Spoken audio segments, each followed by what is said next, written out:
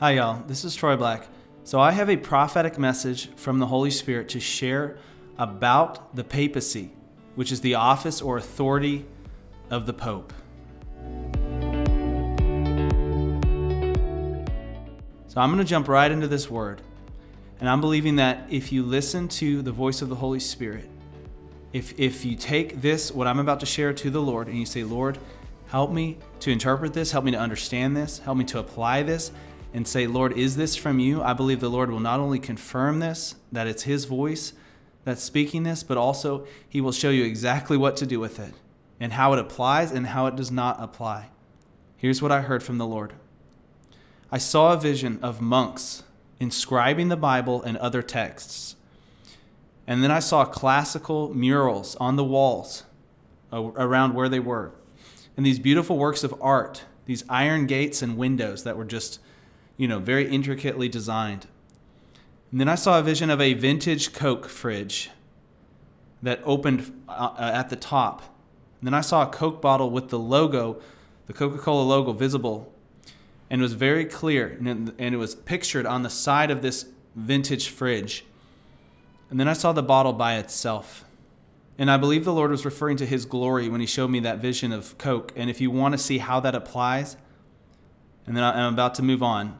But if you want to see how that applies, I encourage you to go watch a prophecy about Bethel Church that I shared, uh, I believe, over a year ago or around a year ago.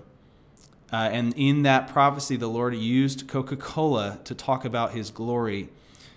Moving on, the next thing I heard was this I heard the Holy Spirit say, My glory surrounded the protection and accuracy of the scriptures throughout history. And he said, I carried it from one generation to the next. No man could stop what I had planned, what I strategized. And then I saw a vision of a stack of $100 bills. And on the side of the stack, I could see an image, almost as if it had been like imprinted on the side of this stack of hundreds. It was an image of Benjamin Franklin's face. And then I heard the Holy Spirit say this. He said, Money is one of the main things people have traded the accuracy of the scripture for. He said, Money monetary gain, temporary life alteration, something that won't last but fades with time. And then he said, But my word stands the test of time. It endures, it is eternal. And then the Lord asked this question. He said, You want to experience my glory on a new level? And he said, Read the word and translate the principles behind the words to your life. He said, just do what it says and live. Life is in the blood. And I know he's referring to the phrase life is in the blood, but also the fact that our eternal life is found in the blood of Jesus. When we were lacking life, Jesus gave up his life so that we could be forgiven, redeemed, brought into the family of God. And when Jesus gave up his life, his blood was spilled and now there's power in the blood because what God has required of us to receive that life is to simply believe in what Jesus did. Jesus said this He said, This is the work that God requires of you, that you believe in Him whom He has sent. So there's life in the blood, in the blood of Jesus. The next thing I heard was this the word of life, the word made flesh, referring to Jesus he spilled his blood for you. And then the Holy Spirit said, Stop trading blood for water. Stop trading life for tradition. And I know what he's talking about is a lot of us as Christians, and I have more to share in a second, but a lot of us as Christians, we don't realize how good the new covenant of God's grace is. You know, in the Bible, there's an old covenant and then there's a new covenant. And the Lord is appealing to us, to Christians, to step out of the mindset of the old covenant and into the life and freedom of the new covenant. And if you want to know what the Bible has to say about these two covenants and how it views the differences, how it paints one covenant versus the other, I've released another video about this, and there's going to be a link below. I encourage you to go watch that video. But I'm going to move on the Lord encouraged me to share 2 Timothy 3 1 through 7. It says this, but realize this that in the last days difficult times will come. For people will be lovers of self, lovers of money, boastful, arrogant, slanderers, disobedient to parents, ungrateful, unholy, unloving, irreconcilable, malicious gossips, without self control, brutal, haters of good, treacherous, reckless, conceited, lovers of pleasure rather than lovers of God, holding to a form of godliness, although they have denied its power. And then it says, Avoid such people as these. For among them are those who slip into households and captivate weak women weighed down with sins, led on by various impulses, always learning and never able to come to the knowledge of the truth. That phrase should cut us so deeply. Always learning and never able to come to the knowledge of the truth. May that not ever be said of us. And unfortunately, it was the case for the Pharisees. You know, when Jesus walked the earth, he said that you diligently, to them, to the Pharisees, you diligently search the scriptures because you think that in them you have eternal life. But then he said, but you're unwilling to come to me. Jesus was the only one that could give them life. He was the only way to the Father. And some of us have traded the life that Jesus Christ has for us today, the hope, the freedom, the, the union with God that we can have through belief in Jesus. We've traded it for dead works, for the works of the old covenant. And God is calling us back to a place of relationship with Him, a place of passion in our hearts, just to know God, just to be with Him on a daily basis. The next thing I saw was I saw a vision of a vehicle from the early 1900s. It was a classic car. And then I heard the Holy Spirit say, returning to an old covenant mindset is like driving one of the first cars in a modern day race. He said, You've got no chance, and there's no competition, there's no comparison. Then he said, This covenant is better. My people. And when he said my people, I knew there was an exclamation point at the end of that sentence. He's trying to get our attention. He desperately desires us to walk in the life that Jesus has provided, the freedom that we have in Christ Jesus.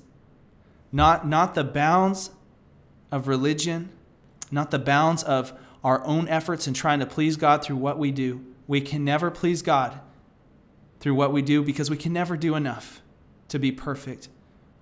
Holiness, righteousness only comes through believing in what Jesus Christ has done for us on the cross. And walking in the life and freedom that God has for us only comes when we stay in that place of belief every single day. He said, This covenant is better, talking about the new covenant. My people, he said, it's better and it bears so much more fruit. He's, and then he said, I can do so much more through it than I ever could through the old. And the Word of God actually talks about this. Paul talks about the, two, the differences between the two covenants, and he compares how the glory of the old has faded, and yet the glory of the new is so much greater than the glory the old ever had. 1 Corinthians 2 14 through 16 says this It says, But a natural person does not accept the things of the Spirit of God, for they are foolishness to him, and he cannot understand them, because they are spiritually discerned. But the one who is spiritual discerns all things Yet he himself is discerned by no one. For who has known the mind of the Lord that he will instruct him? But we have the mind of Christ. Here is the thing that the devil is going to try to do with this message.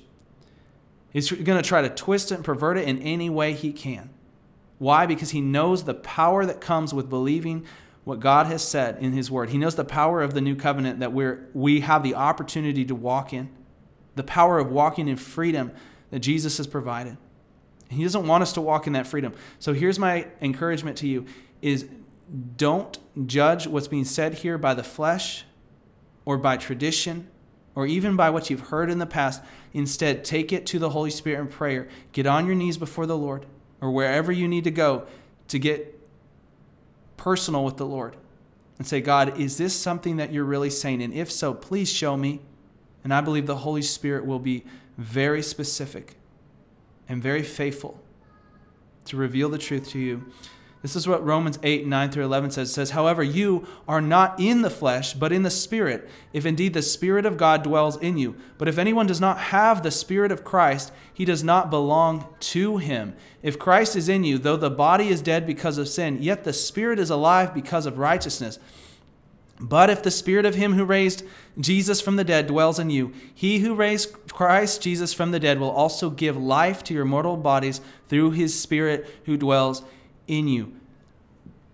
I'm about to share this prophecy that the Lord has given me in a few minutes. But before I can do that, I believe the Holy Spirit is stopping me right here, right now. And He's saying, Call my people back into a relationship with me. There are some people watching right now or listening to this, and you know that you've never had that experience of the Holy Spirit dwelling in you. The word right here says, very specifically in Romans, it says, But if anyone does not have the Spirit of Christ, he does not belong to him. Y'all, this should shake us to our core. If you do not have the Holy Spirit of God dwelling inside of you, you need to come to Him right now. Now is the time. It doesn't matter how long you've done religion, doesn't matter how long you've gone to church or to Mass or anything like that. That's not going to cut it. The only way to the Father is through Christ Jesus. The only way to the Father is through believing what Jesus did on the cross and starting a personal relationship with Him.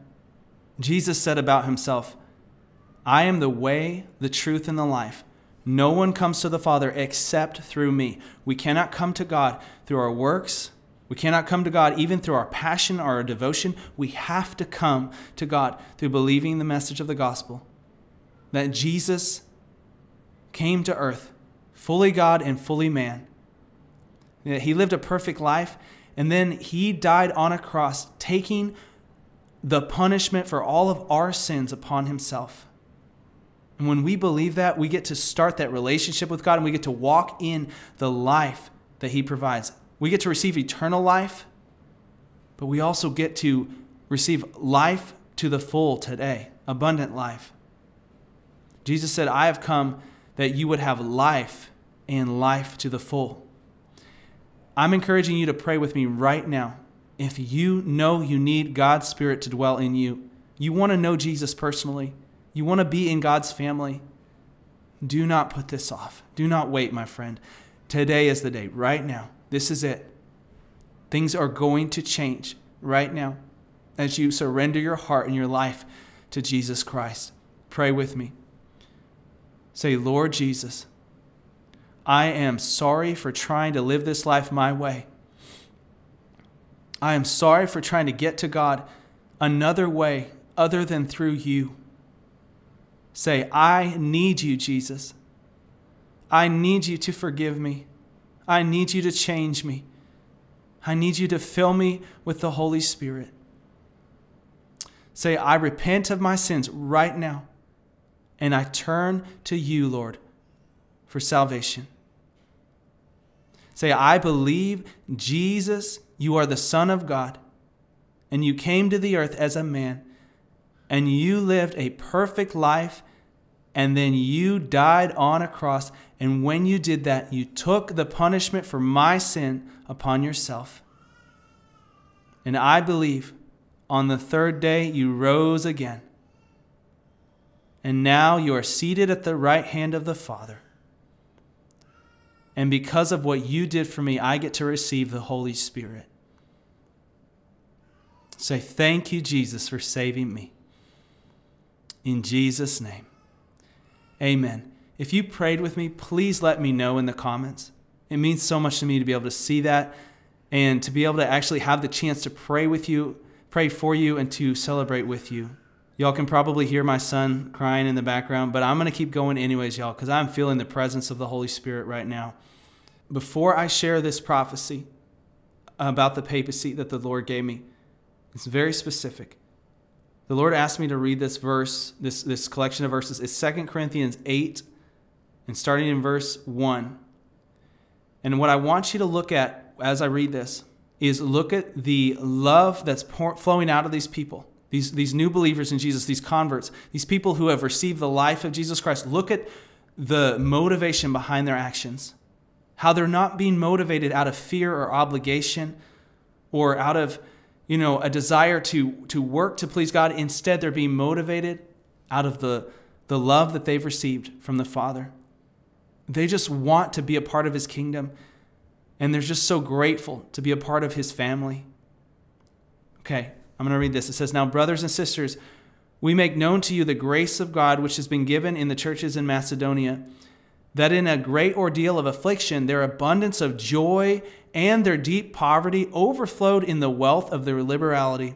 For I testify that according to their ability and beyond their ability, they gave voluntarily, begging us with much urging for the favor of participation in the support of the saints and this not as we had expected, but they first gave themselves to the Lord and to us by the will of God. This is verse 9. For you know the grace of our Lord Jesus Christ, that though he was rich, yet for your sake he became poor, so that you through his poverty might become rich.